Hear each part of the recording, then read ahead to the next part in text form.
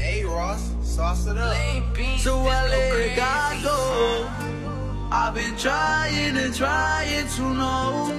Would you really love me if I told you I don't? I've been holding my past for too long.